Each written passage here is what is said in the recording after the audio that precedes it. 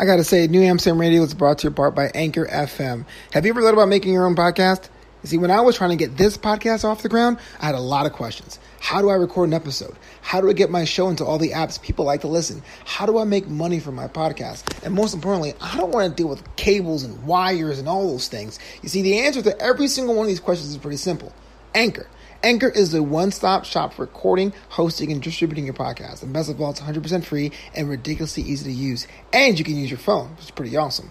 Now, Anchor can match you with great sponsors who want to advertise on your podcast. That means you can get paid to podcast right away. In fact, that's what I'm doing right now by reading this ad.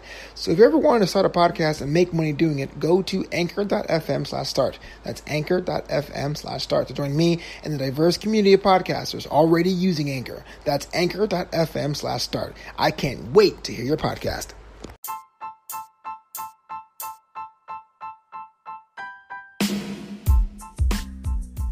Knew Amsterdam Radio starts now. Hello, everyone. Flobo Boyce here. As always, I need to know, I want to know, I desire to know how are you're doing during this holiday season, this very unique holiday season. How has your creative projects ramped up? Have they cooled down? Uh, what are you working on? Please let me know as we hit another edition of Knew Amsterdam Radio. You can contact me uh, at Knew Amsterdam on Instagram or at Knew under score Amsterdam on Instagram. Today's guest is one that's kind of making inroads here in Southern California. For those of you who don't know, when it comes to the wedding vendor space, there is no area, battleground, theater as large as Southern California. And it is a challenge to start a business in any time and in any environment.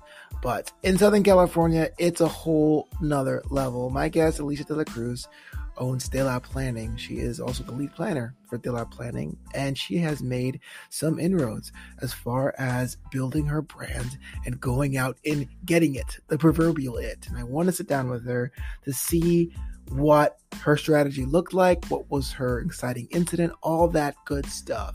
So we're going to sit down with her in just a moment. Just want to say if you like interviews just like this one here in Knew Amsterdam Radio, make sure you become a member of the Boycesterous crew over at patreon.com slash floboboyce.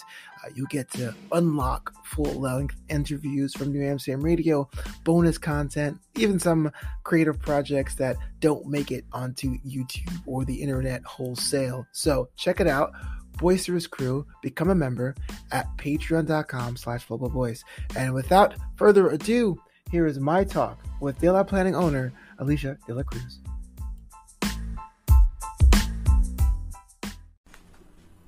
Welcome back to Knew Amsterdam Radio, the podcast for creatives. And it's I, the mayor, Flobo Boyce, but I'm not alone. I'm being joined, and I have a special intro here because I love my intros. Let's see.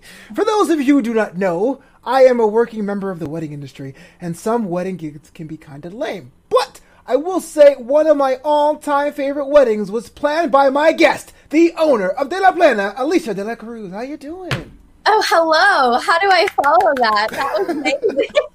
it's only true. It's it's true that I always. It's weird how like we sit back and we talk about like the good weddings or the ones that stick in your mind. And like, ah, yes, Amadi Cruz. I remember like it was yesterday. Uh, fantastic. No, well, I, and that was that was the first time we actually worked together. Um, and you're a wedding planner, and I know on the DJ side, it can be kind of like you know rolling the dice. Like, well, what's my vendor team going to look like? How's it like for you when you have so many different weddings and so many different personalities at a, a wedding day? Like, how does that feel? Yeah, no, that's a great point and so true. I mean, every wedding's so different.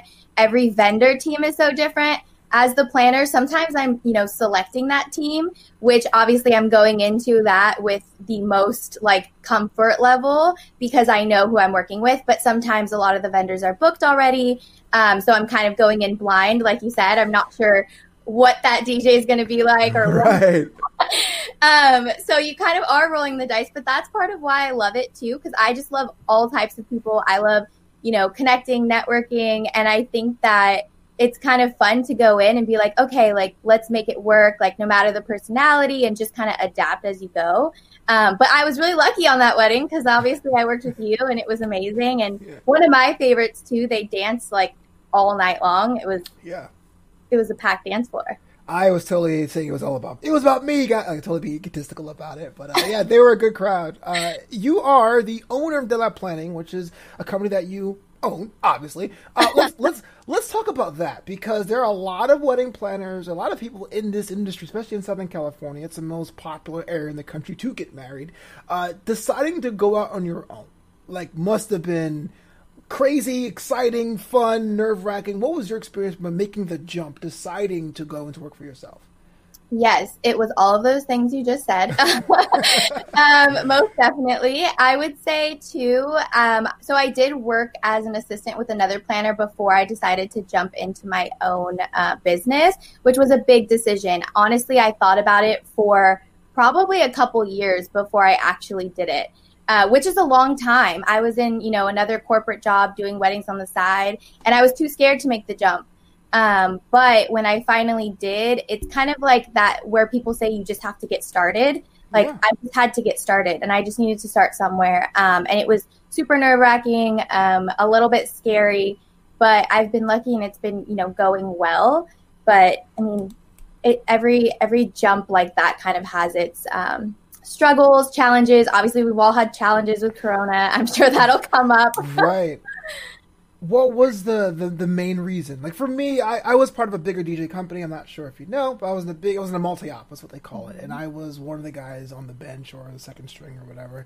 And I had left because, the, to their credit, they had grown so large and good for them that it was hard to maintain quality control. Some DJs were great, some DJs were not so great. I decided to control the brand. But I mean, it's very it's nothing wrong with being a secondary planner or tertiary planner, but you decided to go in for yourself. What was the actual reason for that? Yes, I did know that you were part of another DJ company because I did my research too. okay, yeah, making sure I'm not crazy. No.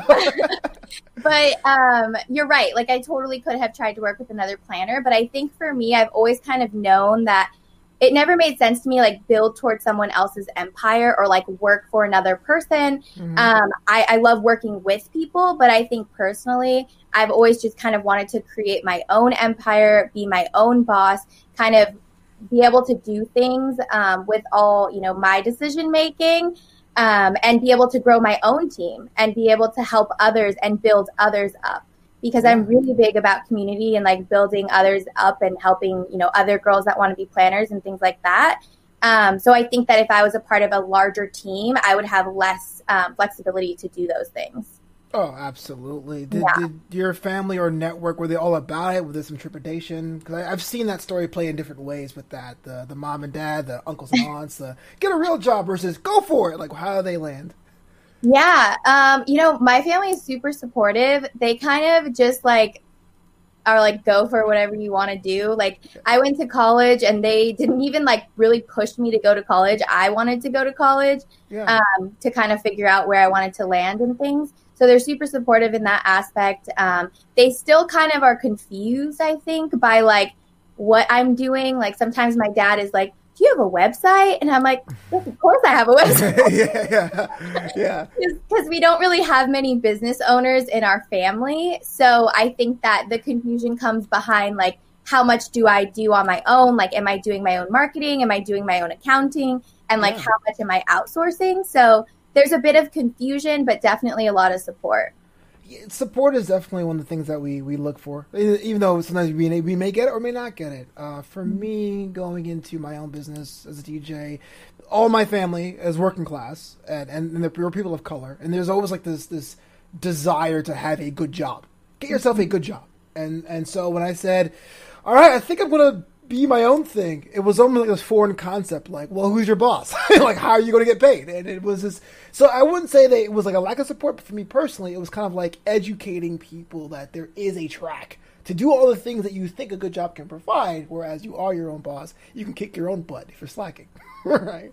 No, I mean that I kind of feel like mine, my situation is very similar to that, but I put that pressure on myself. So sure. I kind of was like oh, you have to go into corporate, you have to build the corporate, like go up the corporate ladder, become a CEO. You know, I had all of these expectations on myself of what success like I thought success would be. Mm-hmm. And so I think that's what dragged out me starting my business for so long because I didn't know what that I had never seen really a successful business owner in my group of friends or in my close knit family. So I was kind of like in the back of my head, like, oh, I won't be successful until I'm like a CEO of a company or do X, Y, Z.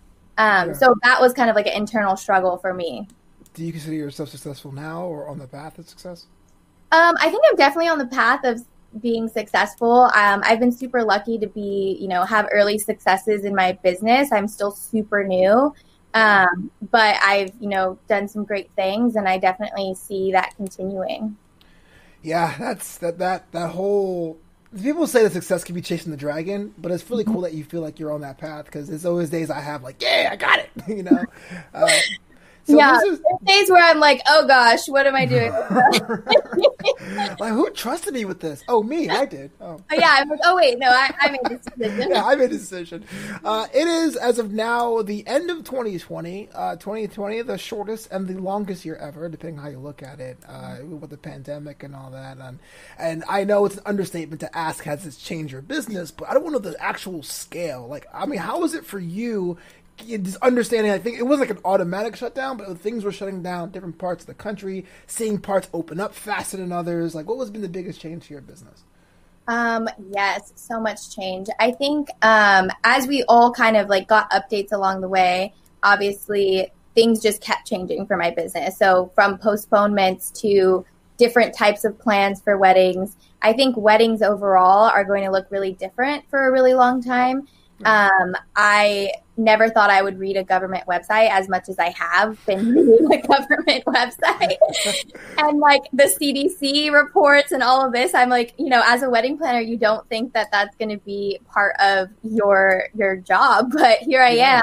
am um, trying to educate myself on, you know, safe protocols of just people sitting at ceremony. Um, so yeah, it's definitely changed a lot. And in terms of like volume, you know, 2021, I'm hoping um, things will be a little bit better and we can kind of move forward with those postponed weddings. Um, but I think it's giving me a lot of time in my business, like on the back end too, to kind of, you know, do try different things, market differently. I'm doing like email marketing now and kind of gave myself time to do things other than like be at weddings, which I love both, but we need yeah. time in general. So uh, just uh, your uh, prediction or so. Are we thinking? I don't know the vaccine is still happening, but like, are we thinking oh. towards normalcy in that way? Because there's some there's some people that have like a, a backlog. Like, oh man, 2020 is, is overlapping 2021. There's a date conflict. Like, I mean, do you think it'll take years to get sorted out, or is it one of those things where all just come into place and and make that happen? Oh my gosh, I, I'm like I've stopped making predictions. Um, no, I mean, I feel like it's so funny because at the beginning, you know, when we were talking about weddings, it was like, let's postpone six months or let's postpone one year. And now I'm almost coming back to those one year conversations with like my March couples where it's like, okay, you know, it's been, we postponed a year, but it still might not be okay. Um, so in terms of knowing like what all of 2021 will look like with like the vaccine and everything, yeah. I do think that there will be certain things that won't go away now that we've kind of started them um, in terms of like sanitation and certain protocols that they've created. Um, I just don't. I don't think weddings will be hundred percent ever exactly how they were. I think that things will adjust a bit, but I do have hope that they're going to become a little bit more like they were. Like dance floors would be great. Let's have dance. yes, please bring back dance floors. please bring back dance floors, um, so we can have the best wedding ever again. Yeah. Um, but yeah, I, I really, I'm like, I don't know the prediction. Do you have any? ideas or? Well, I, I feel like it's every county, which is kind of I understand why, but I understand it's also kind of frustrating uh, seeing different counties and states respond to things. So if things doesn't change in Los Angeles County, which as of this recording, there's like a cap on how many people can do it, and some venues don't allow dancing, but like in Orange County is a little bit more lax. Um, I personally lost a lot of business to Arizona, uh, and, and basically Arizona and Airbnb. Essentially, people decide I'm going to do a private house and invite anyone anyway, or I'm going to go to Arizona or Nevada or Nevada, as they say, and do my wedding there. I hope it levels out. I hope laziness takes hold. People go, no, I want to do a wedding in my hometown, and then I'll be fine. But that's been the most frustrating thing for me on my end, uh, 2020 for sure. Yeah, no, definitely. Yeah. So we you mentioned on the back end you did more email marketing for your business. Is there anything like pro tips you've learned on on doing on focusing on the structure of your business during this down period? Um, I mean, I feel like I could have de- definitely done more with my time. Who doesn't feel that way in 2020? I'm like, it's been a balance for me. I've been working on like self care and doing things other than you know my business, but also working on the back end. Um, in terms of pro tips, I think just taking education courses like mm-hmm. from other professionals in the in that specific um, like that are great at that so like facebook ads or instagram ads or email marketing like yes i would love to say i can teach myself everything um, but i think supporting other small businesses and learning from other people who have really like honed in on that craft um, has been great. I've done quite a few like online courses. Well, everything's online right now, but like right. virtual virtual courses and things to kind of better my education that can help me long term. Um, so I think like a tip, I guess it's not like a, a, a crazy tip, but like would definitely be to look into what virtual courses are out there um, where you can support someone else's business, but also learn something for your own. Oh yeah, that's that's a pro tip. That counts. like it's not that pro tip, but you know. I'm learning something. Uh, also, I have actually read an article from the Voyage LA, which you appeared in uh, this year, um, which is entitled uh, "Meet Alesha De La Cruz of De La Planning." So if you are on the internet, make sure you check that out.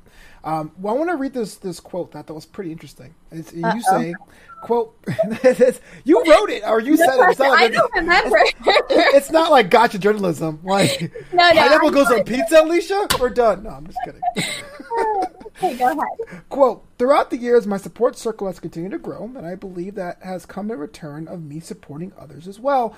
I will always believe in community over competition because at the end of the day, lifting another lifting another up goes past the importance of business. Now, you mentioned your circle before, and you also mentioned that you had a mentor when you started. Uh, any plans of you shifting that and becoming the mentor yourself to mentees uh, mm-hmm. with uh, in a more formal capacity as you grow your business?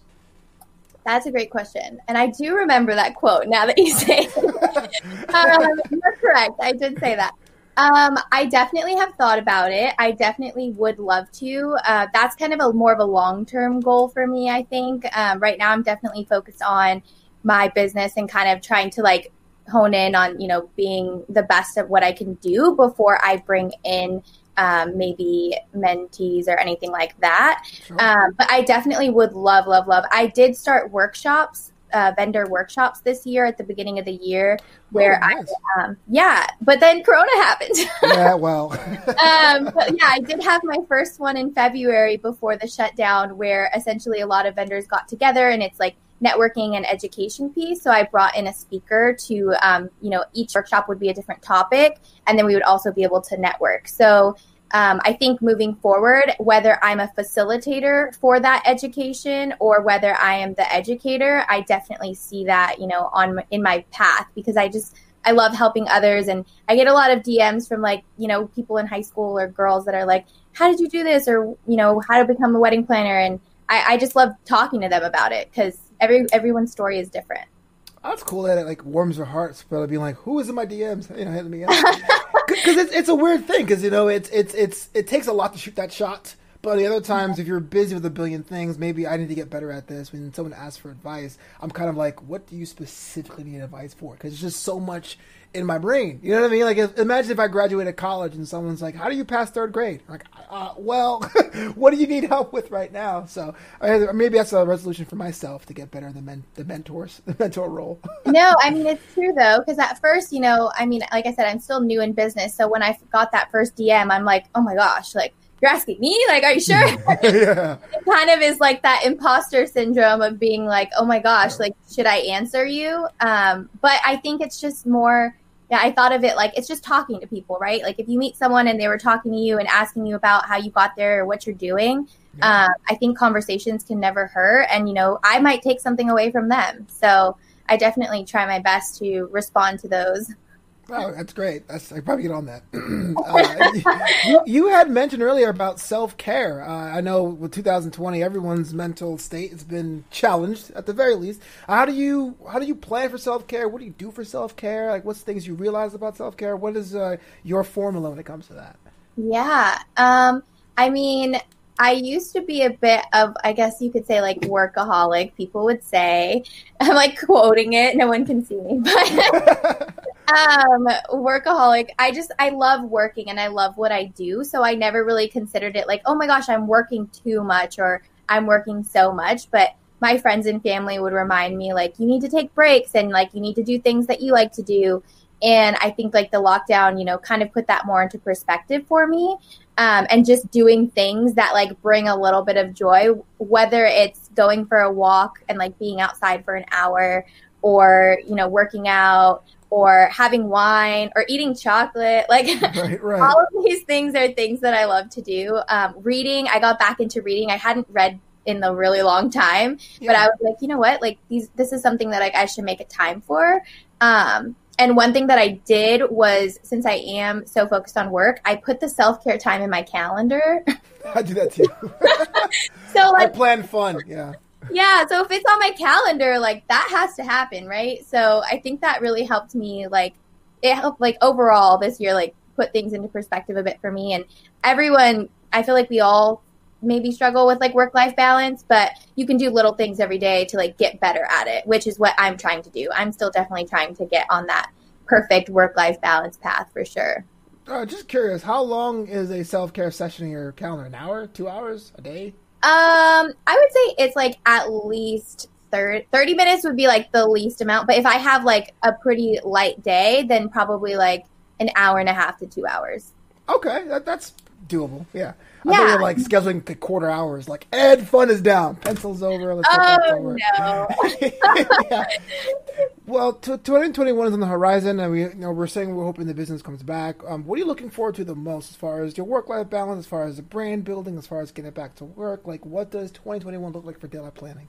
Oh my gosh! Like ideally, if we're not in this situation, are we talking about?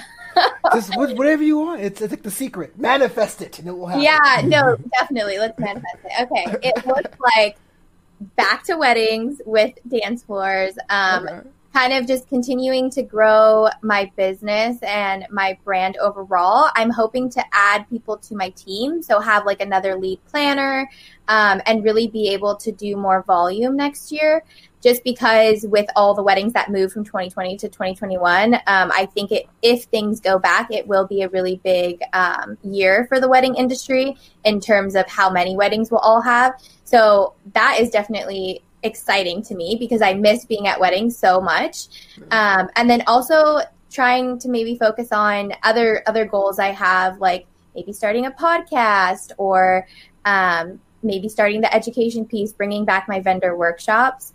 Um, all of those things are really exciting to me. But I, I'm more so like I like to plan for the future, but I, I will switch plans depending on how the world is going. I'm very right. right. So I'm like I will manifest, but also I'm very logical. So. Fair enough. That's all we can ask for. yes. Uh, so Alesha, I want to thank you so much for being on this edition of Knew Amsterdam Radio. Now I know listening to this podcast, you're going to have a slew of new fans. Where can they follow you online, social media, if they want to book you even here in Southern California? Yes, um, I am on Instagram at Dela Planning, so it's D E L A Planning. Um, Dela is a part of my last name, fun fact. Um, and then my website is delaplanning.com. If you want to inquire, you can inquire on my website or you can go on my Instagram and DM me. I'm also on Facebook. And I think that's it. the brand is consistent, which I love. yes, yes. It's all pretty much Dela Planning, yes.